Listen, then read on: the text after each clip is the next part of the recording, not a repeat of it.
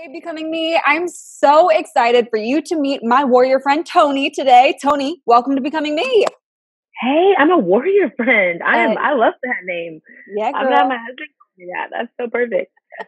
Man, I'm so excited to have you here. And you guys, I have to tell you. So Toni and I met basically through social media, how I meet all my friends now. But um, I'm at Orange Conference walking through this courtyard and I see Toni and I had one of those like run up to her moments. I was like, girl, we're friends. We're doing your becoming story. And it just was super fun to have that in real life moment outside yeah. of social media. Um, but to kick it off, like, who is Toni? Oh my God. Oh, wow. Um, okay, so Toni Collier. I'm from Houston, Texas. I always have to say that because of the, the pride. There's a Texas pride in me. Unfortunately, I've been away from Texas for eight years, but it's okay because I still rep it. Same phone number. I tried to keep my license plate, but the people said they would put me in jail. So it's fine. Um, I live in Atlanta now. I um, am a host, communicator, and consultant. I am a wife, and I am a mom to a four year old strong willed blessing by the Lord. She's got a lot of sass in her. Um, and so I've just been momming and traveling and speaking and um, doing this really cool project with a company called Preemptive Love Coalition. Awesome. So um, that's been pretty cool. So I can dive into that a little bit later. But that's who I am. Really goofy, kind of crazy, little wild. I love vulnerability, brokenness, shame. I'm like, let's just get out there and be crazy. I'm a three on the Enneagram. I'm a one. Achiever stand up. Oh gosh. Perfect. Patty, you? No, no. Um, um, but yeah, I'm a three. Thought I was a two for a long time until I realized that I was helping to achieve, not mm. because I had a good heart like the twos. Just kidding. Um, but yeah, so achiever. I'm a yellow on the temperaments test. Super extroverted. That's my am. That's awesome. I mm-hmm. love it. Thanks for sharing those fun facts about you. And mm-hmm. hey, I love what you said about being vulnerable and getting in. So let's just dive in. What's your story? What's made you? Okay, it's crazy, y'all. uh, no, but um, I would say there were a few pivotal moments in my life that um, challenged me and shaped me into who I am today. Um, the first moment was uh, in the third grade. My mom had a massive stroke. Mm. Um, she became paralyzed on her left side, and that started a series of really, really hard medical issues. And so in the third grade, uh, my dad, as my dad was working, my mom couldn't work anymore. She was on disability. I pretty much took care of my mom from the third grade all the way up to high school. Mm. Um, from teaching her to walk again, taking her to therapy, um, taking her to doctor's appointments, starting to drive at 12 and getting my hardship license.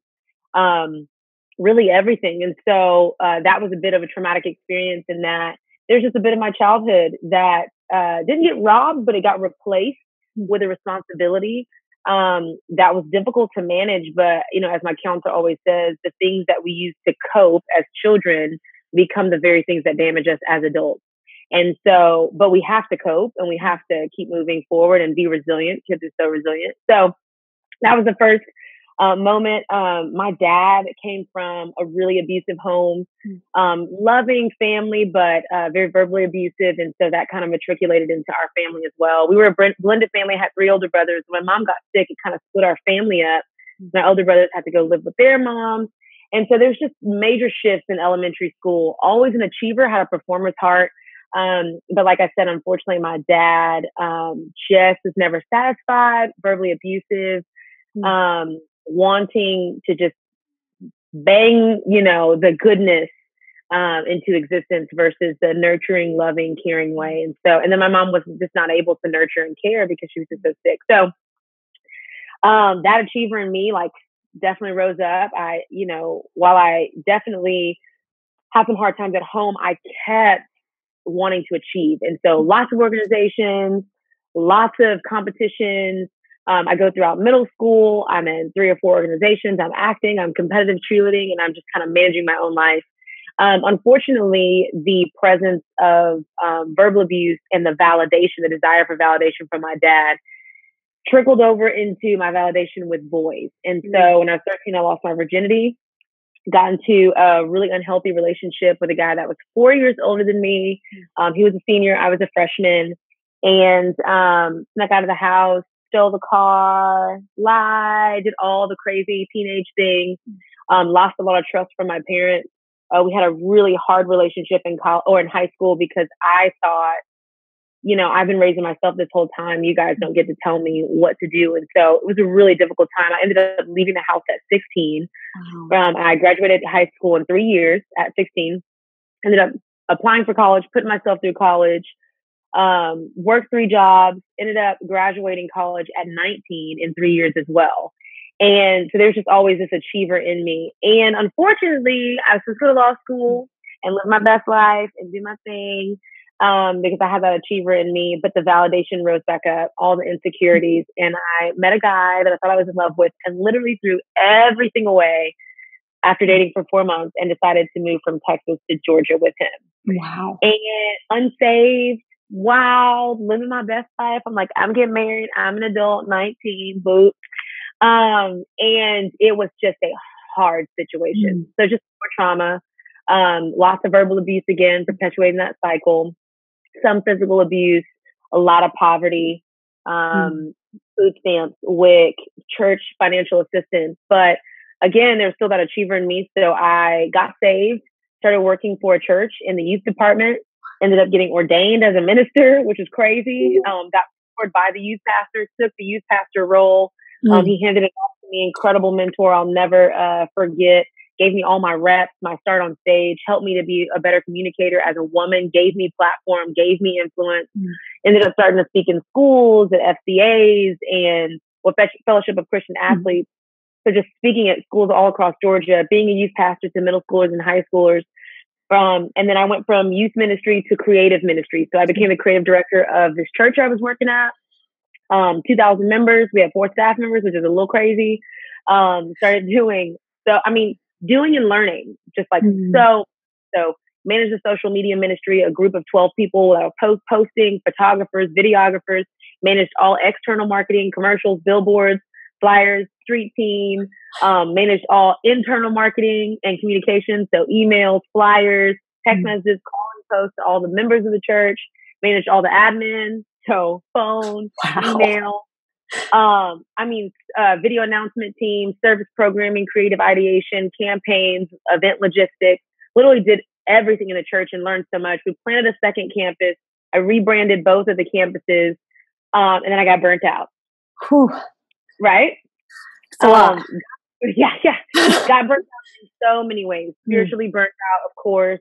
Um, you're working, you know, in the ministry, not on the ministry, not on your heart when you're doing so much. Uh, got burnt out emotionally. I had a marriage that was verbally abusive and mm. extremely toxic. And then I had a little girl and, you know, couldn't really afford to be a parent. And it was just a hard season. And God started telling me to leave the church, leave, leave, leave, take a break. And he ended up having to really push me out because I had this loyalty thing in me and this comfort. I was in a state with no family. And so I ended up transitioning out of the church. Um, and after trying so hard to fix the marriage and go to counseling and go to a new church and start over, it just became extremely mm-hmm. unhealthy and unsafe. And so ended up transitioning out of the marriage and not giving up on faith, but like, I'm totally not working in the ministry anymore. Mm. And God was like, nah, playa, that's not what you're doing. I ended up going to work for Girl Scouts corporate, but then I met a couple folks over at North Point Ministries, including my husband, Sam. And God put me right back in the ministry, said, I know you're broken. I know that you uh, are hurt, but mm. I want to use you anyway. I, I want to use you for good. I want you to go and tell your story. I want you to be unashamed of where you are so that people can see my goodness and my power, not through your strength, but through mine. Mm. And so, North Point, shout out to Andy Stanley, Andy and Sandra Stanley. It changed my life. I thought that my purpose was over. I thought that mm. my work in ministry was over. They gave me platform. They gave me influence. Um, they gave me an opportunity to be authentically who I am and didn't try to change me or put me into a system, but just to show up and be crazy, wild, African American Toni. And as soon as I hit that stage, it just everything just blew up. Mm. Chick Fil A calls and Elevate live events and women's tours and conferences and mom mom con and I mean it. My life changed three years ago, I was on WIC and food stamps and financial assistance, and I wasn't even sure if I'd ever get on another stage again. And now, here I am. Wow. Telling the story of brokenness. Wow. So that's incredible. Thank you so much for sharing your journey, like who you are, who you're becoming. Um, it's super inspiring. And I know that you have truths that you've learned along the way. So if you were oh. sitting across from another woman, how would you encourage her to become? Oh, man. I have this small little vice with um, being unashamed and with mm. exposing brokenness in a healthy way, of course. Um, I think I would tell women that in a world that says we have to be perfect to be used, God mm. is saying He wants to use us right in the middle of our mess, and that He actually does His best work in the middle of brokenness. Mm. Um, I would shout the scripture, Second Corinthians chapter twelve, verse nine: "My grace is sufficient, for my power is made mm. perfect in weakness." And our response to that is, therefore, we get to boast all the more gladly about our weaknesses, so that, and here's the formula: Christ's power will rest on us. Mm. Um, I want to I want to tell women as we're looking at other influencers and even in our you know celebrity Christian celebrity world that I would encourage you to follow and look for people to look up to that aren't ministry goals or material goals, but mm. what's really reflective is their undenying, unsolicited, unconditional desire to be in relationship with Jesus. Mm. And their ability to be honest about who they are in the midst of their brokenness and be completely unashamed so that God's power will rest on them. I would also say go to counseling, like straight up mm-hmm. and down to every single person. Um, with the amount of trauma that I had and starting counseling at 25, I, man, two straight years of straight mm-hmm. up weekly counseling. Uh, EMDR, which is a trauma treatment to reconcile trauma in your brain. Um, went through that, two rounds of that, went through chronic insecurity treatment, which was um, coupled with a study by Beth Moore. Love her. It's called So Long Insecurity. You've been a bad friend to us. Oh, good. Oh, oh yeah. Freaking amazing. So amazing. Um, but getting counseling, man, like it has just changed me. When I think about it, my husband says says this all the time. We go to doctors because they study the human biology. Mm-hmm. We go to trainers because they study the human physiology. We go to church and we listen to pastors because they have studied the Bible. Mm-hmm. Counselors have studied people and emotions and the mm-hmm. way that we can be the healthiest version of ourselves mentally and emotionally, and even for Christian counselors spiritually. And so, why wouldn't we want to walk with someone that can help us process through what is inevitably going to be the hardest moments of our mm. life? Yeah. Um, and so, yeah, that's so good. Oh, gold dropped right here.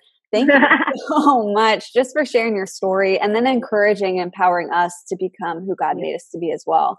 So, if somebody was watching and they're like, hey, I want to continue to follow Toni's story and just connect with her online, where can they do that? Um, okay, so all social networks is Toni J. Collier, T O N I J C O L L I E R. Um, I do have a really, I think it's a really cool brand called Broken Crayon Still Color. It's the concept that I was mm-hmm. talking about that, you know, no matter how broken you are, God still wants to use you. Um, just as a broken crayon can still be used even though it's broken. Um, and that is getting really exciting. I um, just did a poll for interns. And so um, the vision that I've always had for Broken Crayons was a collective of women with broken stories, telling their broken story and encouraging other women in their brokenness. And so now I'm going through all these interviews with interns, and they're all so magnificent that I feel like I'm just going to bring them all on and uh, start to just. I'm like, just do your thing. You just take take take ownership of the brand and do whatever you want to do. But we create devotionals that help you process through brokenness, sadness, all those really yucky emotions. And so that those are all housed on brokencrayons.com. And it's B-R-K-N crayons.com. And so you can download it all, everything's free. Um, you can download it, watch the videos, look at the blogs about brokenness and processing through brokenness. So. That's so cool. And we'll have all those links here in this post. You guys can connect with Toni really easily. Toni, thank you so much. You're incredible. Thank you, girl, for doing this, for Absolutely. highlighting. Just, I don't know. That's amazing. A lot of people are doing it. Some people are doing it well. Some people are not. But it's very honoring, I think, that you would um, leverage your influence to platform other women. That's really cool. And we need to do that. We need to keep doing that for, for Hey, each other. We're all becoming and on this journey together. And I just think it's more fun to learn from each other along the way. So we're on the same team. We need each other. Exactly. Exactly. well, thanks, Toni.